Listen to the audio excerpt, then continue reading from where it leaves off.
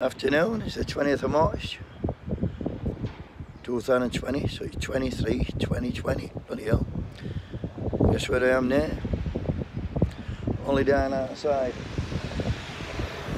The parish church of St Luke in good old Grimethorpe, grimy. And look at this for a monument in memory of the men who lost their lives at Grimethorpe Colliery, 1894 to 1993.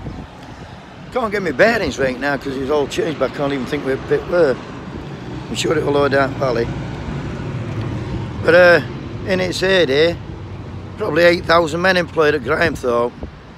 Well, Grimethorpe complex, it was linked up with uh, Great Houghton, Houghton Main, sorry, and Ferrymoor, Ferrymoor Riddings. But uh, look at this. How many men died down there, bloody hell. Hell of a lot and uh, Grimethorpe come here. Start spouting off. You get your kicked in because these these people are proper from proper coal mining stock.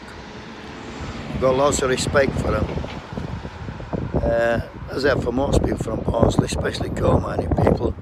Because they're just coal cut them and there's coal running through the veins. Even now it's built on coal. South Yorkshire is built on coal a little plaque there. Look, this monument was made possible by the generous support, I don't know if I've got it,